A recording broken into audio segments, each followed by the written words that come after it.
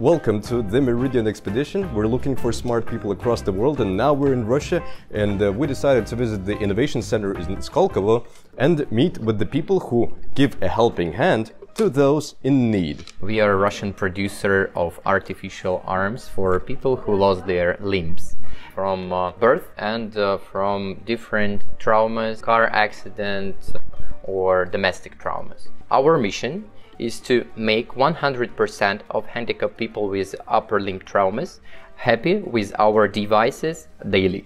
Uh, help them not only physically to retrieve uh, the wrist in a high quality, but also mentally, because look at the quality of this. It looks like a real arm and uh, it can be stylish as well, and you can get all possible designs. It's available for kids, it's available for adults. They are very creative. And maybe five or ten years ago, most of people who have these types of traumas, they prefer only cosmetic glove to cover to show that they are not different. And right now, the personality is appears on the first place. And uh, children, for example, they prefer superheroes or some favorite toys to live with this toy day by day.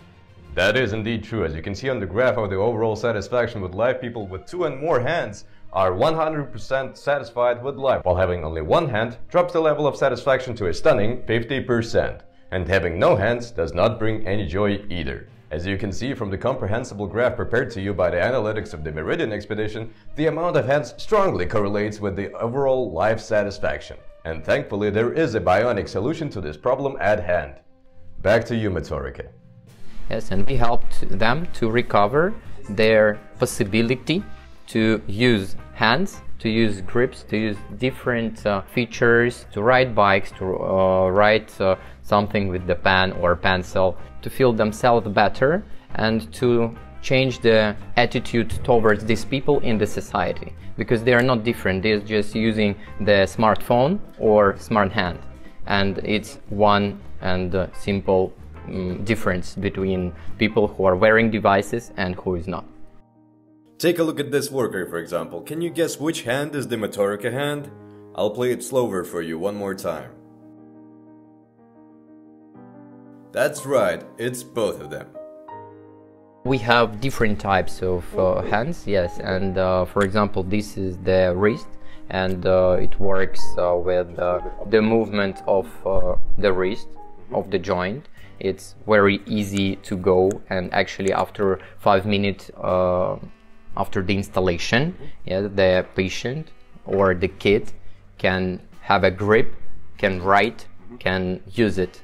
And it's uh, lightweight and it's 3D printed so it's uh, produced especially for this um, patient exactly for this patient with his size with the, his type of trauma because all traumas they are quite different this wide hand, it's operated by the elbow, not by the wrist, but the elbow. So it's a trauma below the elbow, and it's also lightweight and, uh, mm, you know, quite fashionable.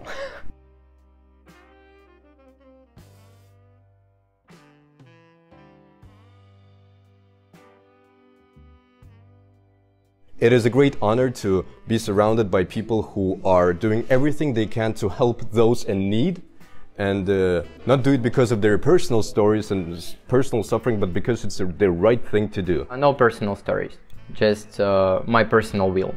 So we also encourage you to share this video and uh, subscribe to the Meridian Expedition to learn more about people like these. Give a helping hand to those who need it. Cheers!